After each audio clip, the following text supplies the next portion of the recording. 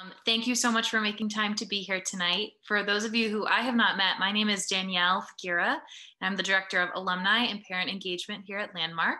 This is my fourth school year. Um, and tonight we are presenting um, one of the, this is the second Second event um, and first topic on Landmark Learns, which is a new initiative to bring topical content and resources to parents and guardians. So thank you for being here with us. Um, we're so proud to still be in school and still have your students um, learning in person and whether they're accessing the program in different ways, we're so happy to continue to be together. And I think a silver lining of this whole situation is being online and doing more resource driven content like this. So and being able to access our parents and video this and share it afterwards. So just a friendly reminder that tonight is being recorded. Um, we will share this after the fact. So if you have to hop off for any reason, feel free. Um, we're very flexible tonight. Um, I see everyone is introducing themselves in the chat. Thank you. Please continue to do that. I think it's a great resource and way for ways for people to connect. Um, we love that everyone has that opportunity. So tonight, my colleague Katie and Mich colleagues Katie and Michelle will help us um, by managing the tech in your questions. So as Meg presents, you can put any questions you have right into the chat. And what they will do is pull those questions out and then um, present them to Meg at the end. So she'll go through about a 35 minute presentation. And at the very end, we'll answer as many questions as we can. We should end at about eight o'clock. We might go a little bit past. Again, if you have to hop off, we totally understand. Um, and we will do our best to um, be timely and get to everyone's questions. So I want to thank Meg Arnio for putting together this amazing presentation and working with us um, to make this possible and deliver really content focused information that is specific to your students' age and grade. So I am going to mute myself at this point. Um, and Meg, please take it away. All right, thanks Danielle. Um, welcome everyone to our uh, Landmark Learns event. I'm so happy to be here um, and able to speak with you all. Um, I not only am an elementary teacher at the EMS, I also taught in middle school for a few years when I first started. Um, I've been at the school now for about 16 years, and I just really love it so much um, getting to meet new kids every year and chances are if you had a student that started in elementary i have had them before because they start you know right from the bottom there. Um, another role that i have at the school is as the director of the landmark um, summer institute for outreach which reaches teachers. So i'm really excited to do this event which is reaching parents. Um, we have a lot of people sign up because they want to know more about their students' learning profiles and all of that. So I'm happy to be able to get to do this for just a group of parents and get really focused questions um, based on what you're seeing at home with your students. And hopefully we can answer a lot of those tonight. Um, let's see. There we go. All right, so true landmark style, I'm gonna start with an agenda. Um, we have the introduction, which I just kind of finished up there, introducing myself. I'm gonna go over a couple definitions for executive function um, after that, I will introduce you to Landmark 6 teaching principles. Um, following that, we'll go over some organizational strategies that are specific to Landmark. Um, they kind of cross through elementary and middle school in varying degrees. Then I'm going to kind of bring it back to um, one of the quotes, one of the definitions for executive function is by a man named Thomas Brown. Um, and he has identified these six clusters of executive function that tie in really well with our six teaching principles. Um, and then at the end, if there are any questions, um, I'm happy to answer anything that you've got. I may not know the answers, but I'll do the best that I can. Um, all right, why don't we go ahead and start off. So our first thing that I'm gonna talk about is just the definition of executive function. Um, this is a quote from Patricia Newhall, who at one point was very heavily involved in the Landmark Outreach Program as well. And in her book, um, Executive Function and Foundations for Learning and Teaching, she states, executive function is the brain's ability to coordinate the cognitive and psychological processes needed to initiate, sustain, monitor, and adapt the behaviors and attitudes required to, achieve a goal. Now right there, it's pretty meaty. It's giving all of these different um, abilities that you have to have to be able to have these great executive function skills. You need to initiate, sustain, monitor, adapt, and think about these attitudes that come in at the same time. So think about your students, think about your kids. And are these things that are strengths for them?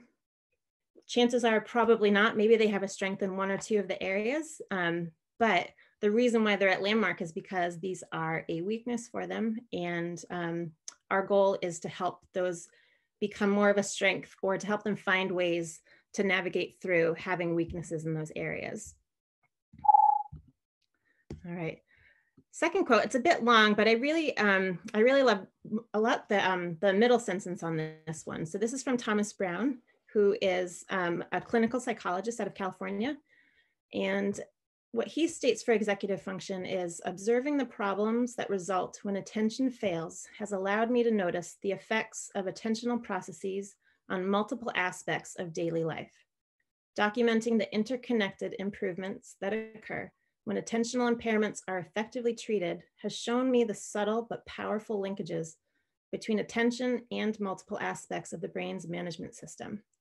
All of these observations have led me to conclude that attention is essentially a name for the integrated operation of the executive functions of the brain. So attention plays a big piece um, in the ability to have these executive function skills um, and have them kind of work out in the way that you would hope for them to work out as you're as you're learning. All right. Now, Landmark six teaching principles have been around for, you know, decades. Um, it's kind of the basis of the school, and it's what we really try to base everything that we're doing in the classroom on. We're trying to hit each of these principles in each of our classes every day. Um, and you'll see how these uh, teaching principles really link up with um, Thomas Brown's six clusters once we get to those a little bit later on. So our first teaching principle is to provide opportunities for our students to experience success. Um, chances are if kids are coming to Landmark at some point in their life, they've experienced not having success with their work. So everything that we're doing is trying to increase their um, ability to see that they're able to achieve goals.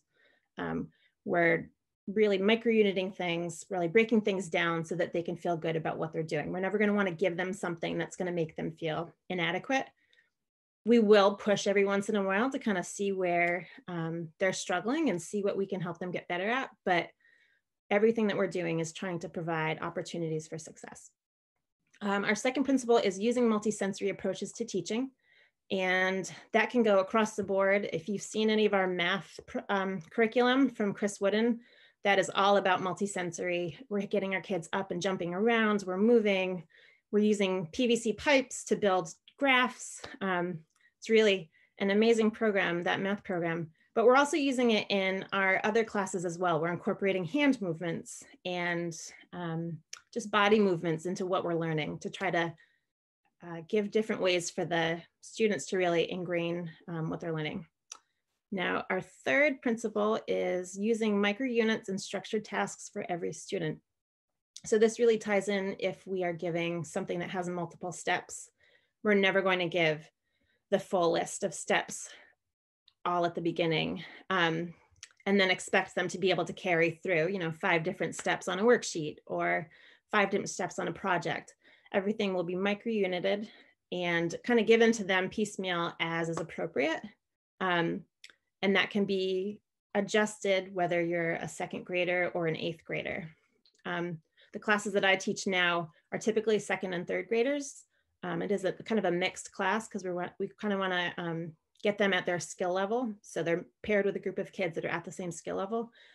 But we're still working on a lot of the same tasks as you might see moving up through the different grades, just kind of pared down and made appropriate for, for the levels that they're at.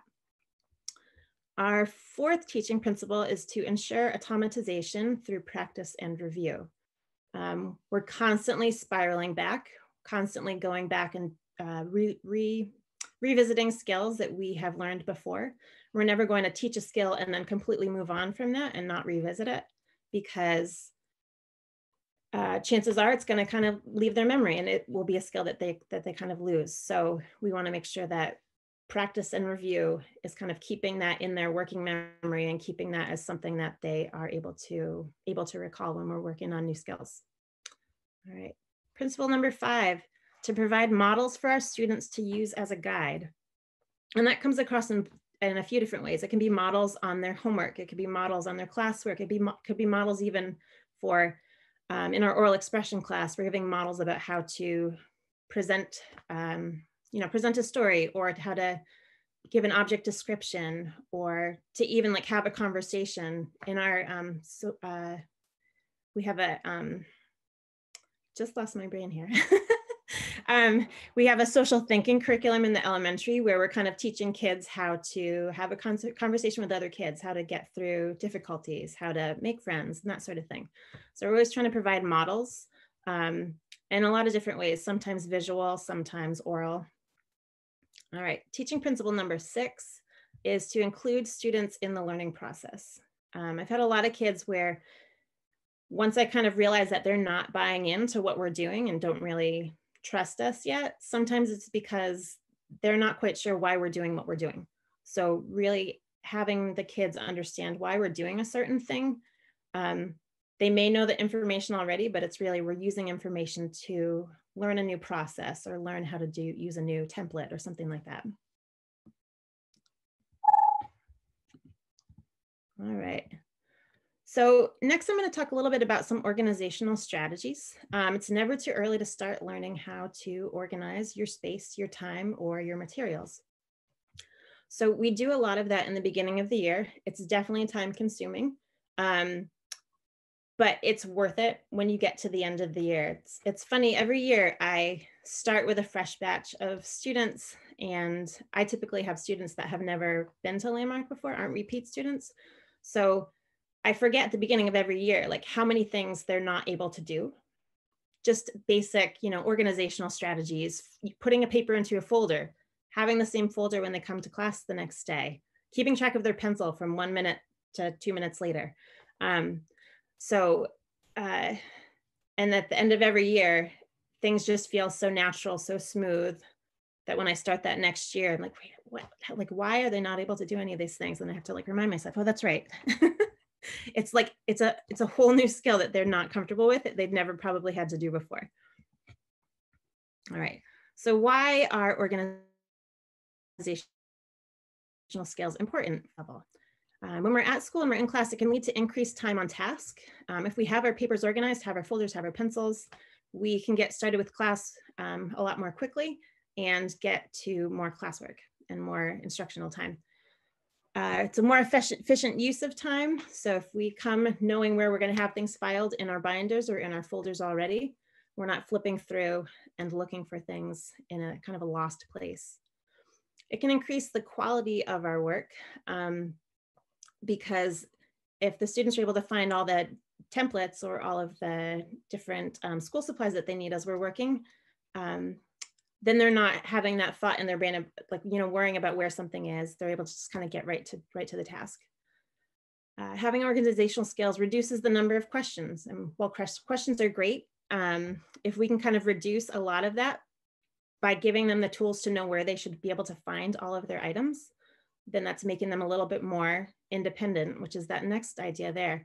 So seeing the way that the kids really take hold of the organizational skills that we practice in school um, is really nice to see towards the end of the year where they just kind of know what to do and they're really just able to do a lot on their own and not need as much guidance.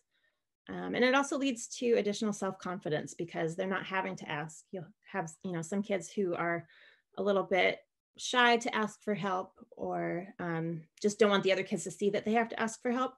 So if we give them these tools to kind of have themselves organized and be in charge of their own supplies and their own items, then um, they can really feel feel good about being able to get everything done on their own. Um, this is a something I'm gonna put on here. We're gonna see at the beginning. We're also gonna see it at the end, but and it's super hard. But one thing that um, Rob Kahn often says a lot, who was the former um, director of the school, is don't do anything for your child that they can do for themselves. Now that's really hard a lot of the time because a lot of the time you're trying to get out the door or just get ready to move on to the next task. So it's so much quicker and easier to do that, but really taking the time when you're starting to learn a new skill um, to, to be able to do it on your own is super, super important. All right, so these are the three organizational strategies that we focus a lot on at Landmark, and you'll see um, a lot of the pictures and visuals that I'm gonna show you here in all of the classes um, from second grade up through the middle school. So we're gonna talk a little bit about materials organization, space or location organization, and organization of time. All right, so one of the things that you might see in a landmark classroom um, is the ready for class checklist. Now this takes away that time when a student might have to ask for help or ask for what they need, gives a really clear visual of the items that they're expected to have and what they're expected to be able to get ready. Um, uh, most classes, you know, we're taking out a binder, making sure we have a pencil, getting our name, date, and day on every sheet, um, a lot of kids, when they're getting their homework ready it's, done at, at home, they're not checking all the way through. So some teachers give that time to check your name, date, and day, or just even to look over your paper to see that everything is done when you first get to your classroom to make sure before you hand it in. Um, another thing that we consistently use is an assignment notebook. Um, and for each class, even if we are not giving homework, and even this year, you know, um, switching to this new type of learning situation that we're doing right now, we, we don't currently have homework as something that the students are getting, but I'm still trying to get them to learn the format for this and get comfortable with using it as it kind of, as we kind of track through our day. So each class would have its own, um, I think for this, for this planner, the days go vertically and then the classes go horizontally. So even if we're just going to work on like writing in cursive in LA, I'll have the kids write writing write the word cursive in their assignment notebook. Or if we're working on map skills in social studies, we'll write map skills so that we can kind of keep track of some of the different things that we've been working on. And eventually, if we get to that homework point this year, um, we could have them plug that in there and have a good spot for them to refer back to if they need help. All right. Um, one thing that I am really passionate about is getting their binders really organized.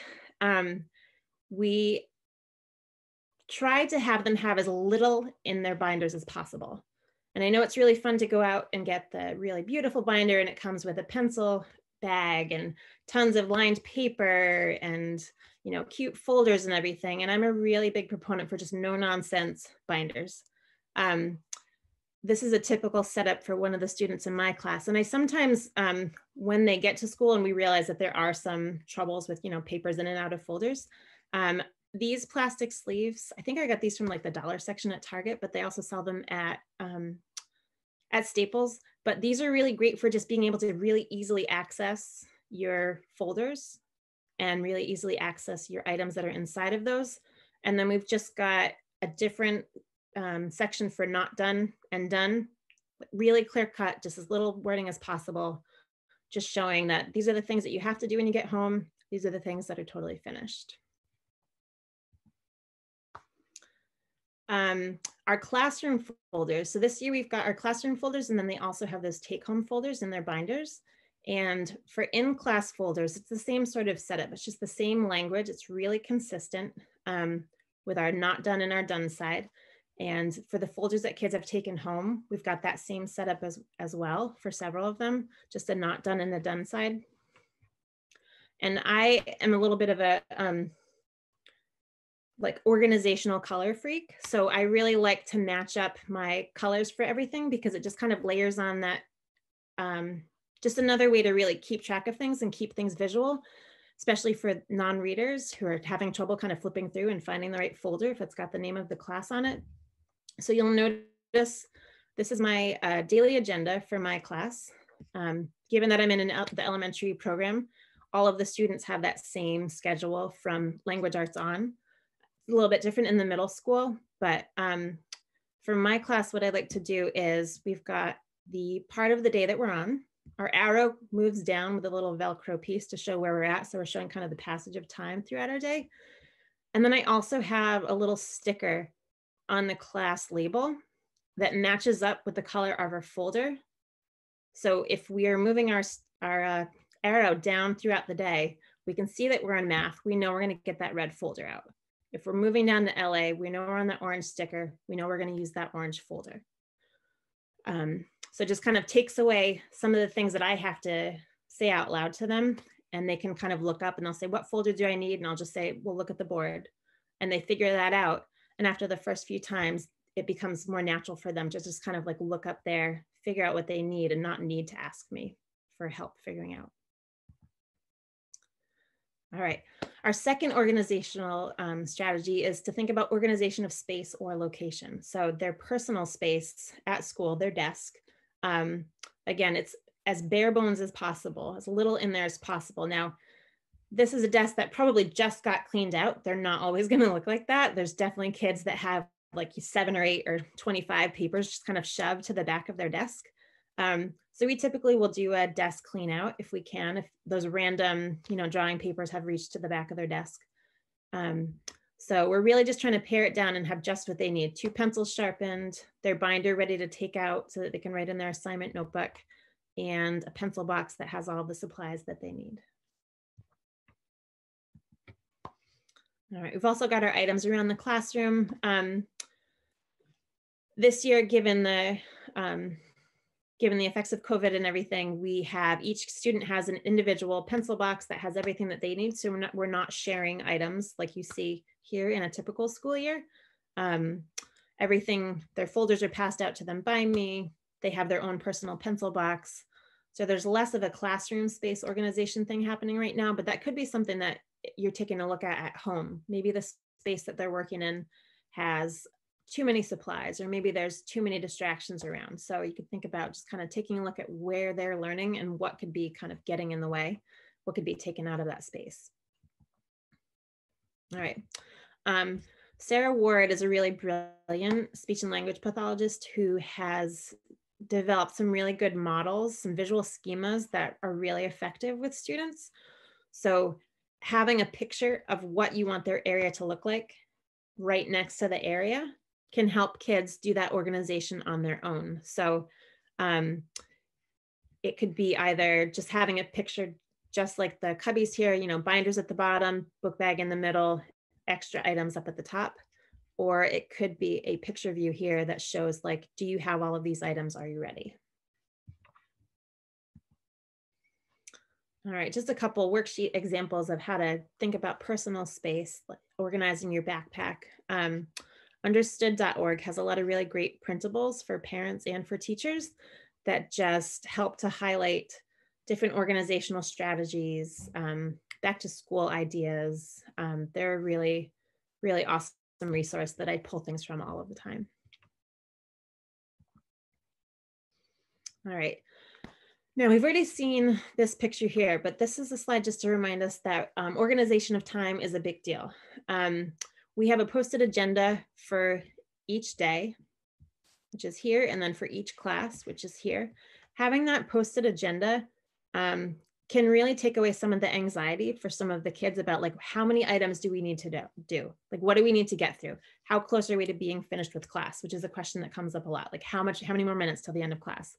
And i can just refer back and say like well let's let's look and see how many items we have left on our agenda so it helps them to kind of see that it's not always necessarily tied to time, but it's tied to can we get through what we've got on our agenda and can we finish the task that we have set before us. Um, so my agenda here, when I organize my agenda on the board, I'm also matching up my colors of my marker with the class that we're in. So this is in green, this is our science class. It's just another visual reference point for them to look up at. Um, Homework, I would usually write down at the bottom in a totally different color so they know, they know that's a different item for them to write into their assignment notebook. All right. Um, when we're doing an, an activity in class, if we're doing activities kind of shorter duration, um, I like I really love to use either an analog clock as a timer or a digital timer. Um, I'm a big big believer in using the analog clocks because it's an easier way to see the passage of time. You can see 12 minutes or six minutes or two minutes on a timer, but it does you can't really feel how much that is when you see that. So being able to see on a an analog clock and mark off the time that you're going to be working and see how the time is passing helps kids to see how much just really get get a sense of time um, I think back to when I was, you know, when I was a kid and I was at my friend's house and my mom would say, okay, five more minutes. You have five more minutes to play. And I swear we got half an hour every single time because she was just talking with my friend's mom. So a lot of students have a really big issue with knowing what that passage of time feels like. So they can't always estimate how much time they might need for something. Um, some teachers at Landmark, I think more in the middle school, have stickers that they put on their papers. If you've ever had Miss Mulligan as a teacher for one of your students, she often has a sticker at the top of her papers that asks the students to estimate how much time they think they'll need and then write down how much time it actually took to give them a sense of how much time is passing um, and get them to really understand you know they might uh, they might say that it feels like it's going to take a half hour and then they realize it's only taking five so that kind of gives them the ability to kind of sustain through um, certain certain tasks that they're doing because they know like oh well, okay it's only five minutes. I can last for five minutes. I can get that done. All right. Um, this just kind of ties in with um, what i was just speaking about with estimating how much time so you can understand what the passage of time is like. Um, it's also great to kind of have these visuals on our clock here to show how many minutes they are there. Um, I know several kids that have a really hard time with reading an analog clock. And that's one of the things that we work on a lot. Actually, in our math department, we're learning about when we do our five times facts, we use the clock as a reference. So hopefully that's helping some kids to kind of get that sense of time on an analog clock. All right, and then for longer term, um, goals or things that are coming up to be able to show the passage of time, just having a calendar. Um, I prefer to kind of move through it, adding the days one at a time so we can feel that time passing and not just have it fully laid out. Um, and I would typically have just upcoming events written on with some sort of markers. So this was a calendar from last year for my class. So we could see when we were having half days. We could see whether it was blue or gold because we've got the B and the G. We could see if we were having library, which is the little book every Wednesday, or we could see when we were having social thinking. So it's another organizational strategy where it's taking away when the kids are asking when things are coming up. They learned if they wanted to know when we had library or um, when we had a social thinking class, that the calendar would be a great spot to look. All right, now I'm going to jump into um, Brown's six clusters of executive function. Um, and hopefully we can kind of see how these tie into a lot of what we do at Landmark with our six teaching principles. All right, so Brown breaks it into these six different clusters here. Um, I've got kind of like an overview of each of them, and then I just also have a, um, follow-up slide for each of these, just kind of showing the ways that Landmark is really trying to help students with these six clusters. So we've got activation, which includes organizing, prioritizing, and activating for tasks. Uh, we've got focus for focusing, sustaining, and shifting attention to task. Um, we've got effort, regulating alertness, sustaining effort, and processing speed. Um, our fourth one is emotion, managing frustration and modulating emotions. That one can be a tough one. Um, memory, utilizing working memory and accessing recall. And then finally, we've got action, where you kind of put, pull it all together and you have to be able to monitor and self-regulate your actions. So monitoring what you're doing and also monitoring what you're not doing. All right. So for the activation piece, um, some of the ways that we try to help with that organization and the prioritizing is um, having that agenda on the board, being able to see how we're organizing our class for the day. Um, we track as we move throughout the class and throughout the day. So we're moving, um, either checking things off on our agenda or we're moving an arrow down, we're showing how we're moving throughout our day. Um, I'm better at this at school than I am at home, but filing items as they're finished. So getting, you know, once we've finished with a sheet, not leaving it out on our desk. There's a lot of times that we'll be working on a project or working on a paper and I'll ask them to take out the next piece and desks will just be covered with, you know, like scissors or glue sticks or scrap paper. Um, and it's amazing how much that's not really recognized by the kids that like that's not necessary to have out right now. They just know that they're, they're supposed to get that next piece but they don't realize that like everything else that's out on the desk right now is, is finished it's done. So we can put it away and get it get it organized and put away. Um, i also this is kind of a luxury being an elementary teacher and having the same kids all day is using the same systems for all the classes. And I know that most teachers at Landmark are using a lot of the same systems. Um, we try to keep that really consistent um, even through the middle school because uh, it just it gives the kids a more expected way to do things.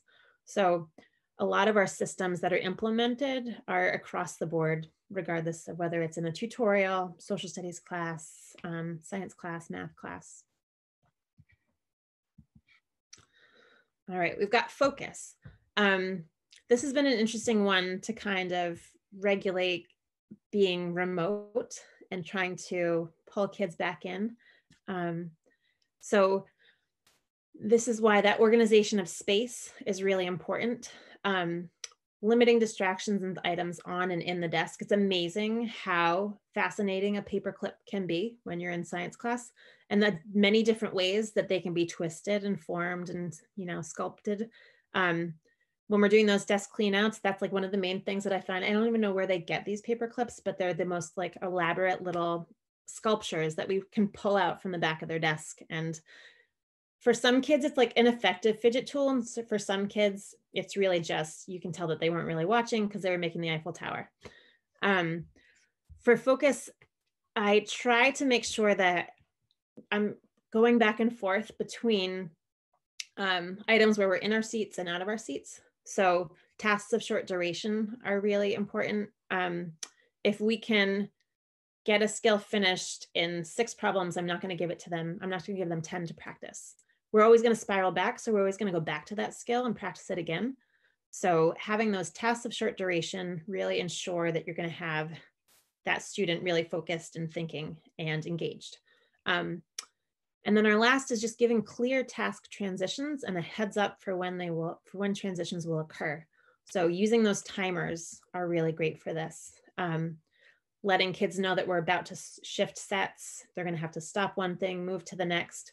Um, I always like to give kind of a halfway point for when we're using timers. So, you know, we might set the timer and then I'll say, all right, we've been working for we have we had it set for five minutes. We've been working for two and a half minutes. We have half our time left. You should be about halfway done with the items on your sheet. Um, so that gives them a good checkpoint of like oh gosh i was spending too much time on number one. Maybe i should move on and helps them to kind of uh, get ready to keep moving their way through and know know that um, the expected time was five minutes and they were kind of stuck on that one thing. All right as far as effort um, Effort is all about regulating alertness, sustaining effort, and processing speed. Um, so increasing effort comes when we are consistent with our breaks. Um, I a lot of my students have trouble kind of staying still when they're in their seats. Um, so knowing when a break is coming is really effective to have on the agenda so that I can say, you know, like we've got a break coming up in two minutes. Or if a student says, like, hey, can we get up and move? I can say, well, if we look at the agenda, we can see that's going to come right after we finish this activity. So do you think you could just wait and we can take our break then? And they're usually pretty agreeable. And, and if not, then, you know, everybody's got to move sometimes. So, but I just like that it kind of gets them to ask for the breaks and notice when they're coming. Um, a slow rate of speech when explaining can increase their effort. Um, I have found that my rate of speech has slowed down a lot. I'm typically a pretty fast talker if I'm, you know, with my family or my sisters. But when you're in the classroom, if you're giving that more slow rate of speech when you're explaining things, especially something that's got multiple steps, um, those slower processors might not really latch on to what you're saying. Or you might have someone that, if you're speaking too quickly, here's the first thing and holds on to that. Or maybe they hear the last thing and they hold on to that, but they can't kind of process through all of it at the same time. So slowing down the rate of speech has been um, really important for me as a teacher. Um, having shorter, more explicit lists of directions. So I, as much as I can, I kind of pare down my directions and take out unnecessary words because those just lead to um, either distraction or misunderstanding. And then this is another one that I had to kind of really train myself to do the wait time for questions. So, um, a lot of times it'll feel really uncomfortable the amount of time that I'm waiting, but there often is a time when someone like eventually, you know, once they've kind of processed what's expected, they've heard the directions, um, and they realize like, oh wait, I'm not quite sure what to do. Then you know a hand will come up and we can answer answer questions. Oops. All right, emotion. So for this emotional piece, it's managing frustration and modulating emotions. So um, one of the best things that I've done in class is just to really keep clear and consistent expectations for all, um, while also leaving a little bit of wiggle room um, in some places. Um, I think for some students, as they kind of approach that frustration level, if they're working on something, it's okay to kind of lessen the workload. So, you know, if we're working on a certain sheet, I might say, well, great, why don't you just do like one through four? And we'll get those done really well. And we'll focus a lot on our skills. We'll focus on our handwriting. Um, so give them something to focus on so they still feel, feel successful, but maybe don't reach that point of frustration. Um, something that we use really across the board as far as language that we use with students if they're acting in a certain way in class is using the words expected and unexpected so that's just kind of it's not labeling it as a good or a bad action um, it's labeling it as something that we should be doing at that time or maybe shouldn't be doing at that time you know something that's expected at school but unexpected um, or excuse me, the other way around, unexpected at school, but maybe it's an expected at home sort of situation. Um, and then the last thing, something that I've learned is just uh, as we're managing frustrations in the classroom is not uh, naming how they're feeling, but naming what I see. Um, that's been really effective. So saying things like, it looks to me like you're frustrated, not saying like, oh, you're frustrated. Like naming how they feel can often increase what um, the frustration that is that's being felt so you know I, I use that that language that looks to me like you're frustrated or even a lot of times students aren't really aware that their face is really giving away how they feel or their body language so saying something like you know your face is showing me that you might be a little overwhelmed so they're knowing that that's the message that's being given and then maybe they're not overwhelmed maybe it's just kind of the way that their face is resting or you know that maybe they're thinking about something else but it's not really calling out what they're feeling. It's me saying, like, oh, this is what it looks like to me. So they can recognize that, you know, the way that we express things can be different. All right. We've got our um, memory piece here. So it's util utilizing working memory and accessing recall. Now, um, there are four different things that we really work on to help out with, with our memory piece. Um, categories are a big piece and that's across the board. We use that in oral expression. We are using it in language arts. We use it in math class even for, you know, understanding how to do story problems or word problems. Um, and they're not as inherent and not as easily kind of understood as you think. There's a lot of times that kids get really stuck on naming categories. And um, there's a great example that we use in our oral expression class beginning of the year that shows a picture of a very organized um, grocery store or a store with the all of the items kind of on the floor in a big pile. And like you think about like which store would i rather go to? The one that's organized and you can find things or the disorganized one. So it gets kids to kind of think about why categories are important. We also work a lot on word retrieval So if someone is getting stuck when they're trying to figure out a vocab word or something that they're trying to state in class, giving initial phoneme cues or even, you know, the first syllable cues um, or letter cues can be really helpful and kind of trigger their memory and get them to be thinking of that word that, that's kind of on the tip of their tongue. Um, oral rehearsal is something that we use in a lot of our classes as well, just kind of speaking through things and not having to take the time to put that written piece into it. So we do oral rehearsal of paragraphs, we do oral rehearsal of stories in oral expression. Um, we go outside and we hop through and get that multi-sensory piece in and use oral rehearsal for story problems for our math problems outside. And then another thing that we really work on is just vocabulary development. Um, that's a really big focus. So the beginning of each unit, we're kind of introducing those really like tier two, tier three words that they're gonna need that aren't necessarily something that are in like the forefront of kids' brains or, you know, they're very theme specific. So vocab development and then spiraling back and really using that vocabulary and getting them to use it in their worksheets and in their writing. All right, and then our last one is just the action, which as you can imagine is the hardest part because it's taking all of these pieces and pulling them together. Um, so you have to monitor and self-regulate all of your actions. And then for some kids too, it's even thinking about just yourself and not others, like not focusing on what someone else is doing or not thinking about what someone else is going to think about what you're doing. Um, in order to get this action piece to start, it's recognizing that you have the ability to do, do the task. And then also recognizing the ability to inhibit yourself from doing something else that's not the task. So the action piece isn't just getting things done, it's like also not doing this other thing on the side that you really want to do, or that's really distracting, or that would be a lot more fun um, than what you're working on.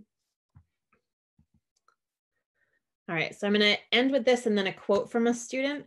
But the best advice I could give is really just don't do for your child what they can do for themselves. Get them to try to use their skills at home because they're able to use them when they're at school with us. I think a lot of kids come home and kind of play the play the innocent piece and maybe um, don't really let you see what they're really capable of. Um, so even though it's easier, give them those chances to do what they can for themselves. Um, all right, my last piece here. This is just a really poignant um, thing that a student of mine said last year. So um, this first sentence comes from something that Rob Kahn, our former director, also would say. Beginning of the year, he'd always tell the kids, like, you wouldn't be at Landmark if you weren't smart. So we were in class and I said, you know, I just want to make sure you all know that if you weren't really smart, you wouldn't be at this school. And my student responded with, do you know when I figured out that I was smart? It wasn't when I had to do all of that testing because I couldn't really do it. It was because I got through all the years at my old school pretending that I knew what to do, pretending I could read, and the teachers never figured out that I couldn't. Then I got to Landmark and I knew I had outsmarted them all. All right, so we've reached the end of my formal um, presentation here. So if there are any questions, I would love to um, dive in and answer. Hi, everybody. It's Michelle Grenice. I um, work for the uh, Landmark School in the advancement office with Danielle Figuera, who opened us up this morning or the, earlier this evening. And I've been monitoring any questions in the chat, of which there are not any. So that just means that Meg has covered the full, you know, experience of executive function. But truly, um, folks, if there are questions that relate to not only um, your child and your family's experience um, within the classroom, but also, you know, if there's questions that bubble up about you know life at home or how some of these things translate in a you know non-academic setting. I know meg is more than happy to field those types of questions as the best that she's able.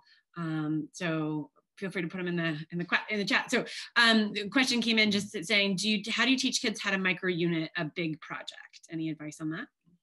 Yeah so um we do have a pretty explicit way of doing that. Um uh a lot of the things that we use are really heavily templated that we use at schools. So um, I know that in the science classes, I have done projects before where we do, we talk a lot about like the, the process of, um, you know, being a scientist or being an engineer and how they don't just dive in and start building right away. So there's a lot of planning that goes into things. Um, we have these great um, guides where we talk about like materials that we would need or um, have planning phases and really think about the different parts of the project. So kind of get a picture of the whole project before we dive in and think about all of those tiny little parts there.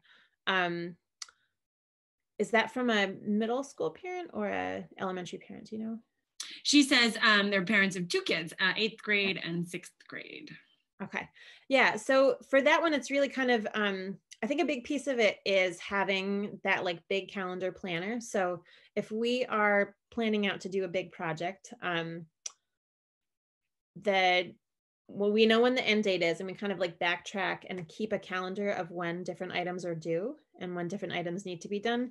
And also kind of give that midpoint as well. So we're not just giving midpoints with um, our time of time that we're doing an activity in class. We're also kind of giving check-in points um, to make sure that items are, have been started. Um, I know a lot of the projects that middle school and elementary kids have done are um, most of the work there i think there there are sometimes when they're doing some of like the paragraph work or some of the follow-up work at home and writing but a lot of times that work is done at school um, so that we can really monitor what they're working on and how they're working through and teaching those organizational skills as as they're um, as they're planning and completing their activity.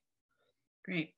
Well i have my own personal question. There isn't another one in the chat but i as i was listening to you and i was you have a, a, a very long um, and successful tenure at Landmark and have um, taught a lot of kids over many years and situations. And I'm interested in your reflection on this particular topic of just students and their ability to organize and stay on task and their, their ability to be successful with the, this realm of executive function in this learning environment, like with the pods and the on and off. I mean, you guys have built in incredible systems by which to support them, but I, would be interested to just get your interpretation of what you're seeing in your experience.